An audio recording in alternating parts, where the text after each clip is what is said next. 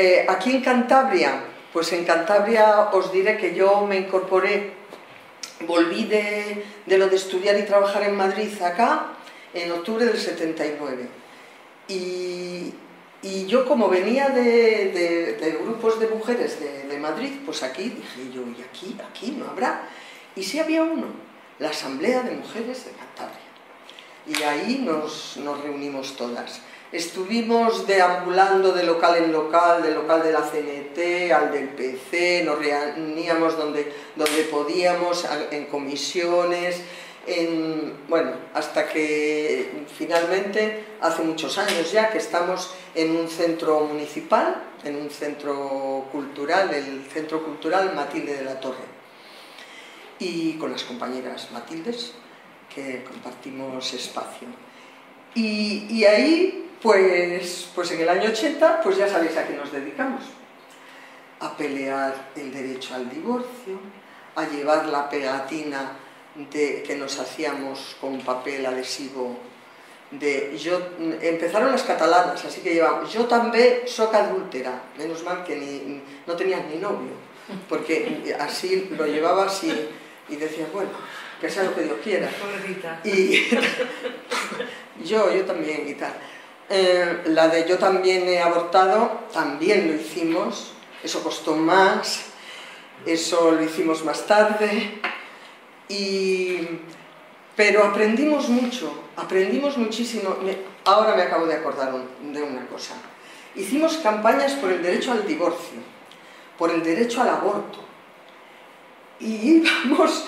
Mm, eh, muy decididas por Santander, hablábamos con las asociaciones vecinales y les decíamos, ¿podemos ir tal día a una charleta y tal para amas de casa?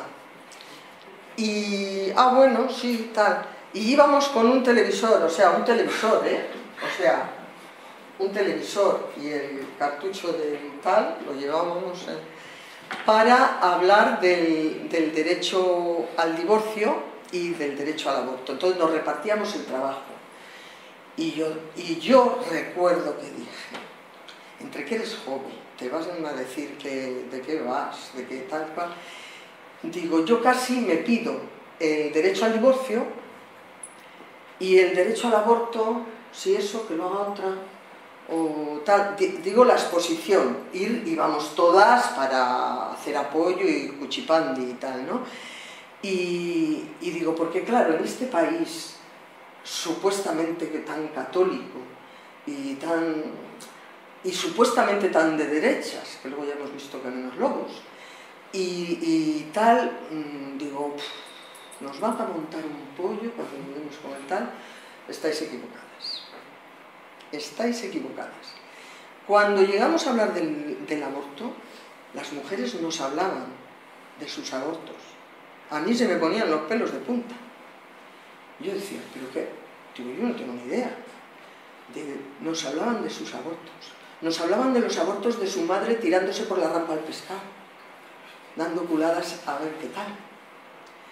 Nos, nos decían con una naturalidad que cuando no se podían tener más hijos, no se podían tener más hijos, que yo aluciné. En cambio, cuando fuimos a hablarles del divorcio, 25 años aguantándole y ahora se me va a ir con una más joven porque haya... Yo no estoy interesada, decía. Digo, bueno, elegí, elegí la charleta que no debía. Eh, mm, mm, malamente, malamente.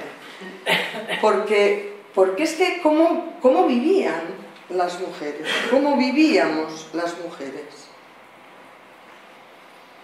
Mi madre fue un día a trabajar a su puesto de trabajo y mi padre la había dado de baja. Bueno. Eh, pero estas cosas, cuando, eh, cuando muchos años más tarde las explicabas, se lo hacías partícipe a los compañeros del sindicato, del trabajo, bueno, yo los compañeros porque claro, los míos eran compañeros todos, o sea, era un debate perpetuo. Pues, pues siempre decían, ya estás con el feminismo, Y digo, ¿pero qué tiene que ver el feminismo con una cartilla en la caja de ahorros?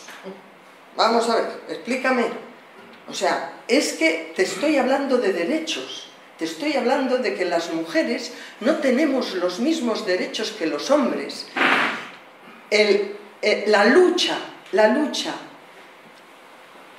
por la consecución de esos derechos se llama feminismo. Podía haberse llamado supercalifragilístico especialidoso, pero se llama feminismo, lo dice la RAE, que no es un club muy feminista. O sea, lo dice la Real Academia de la Lengua.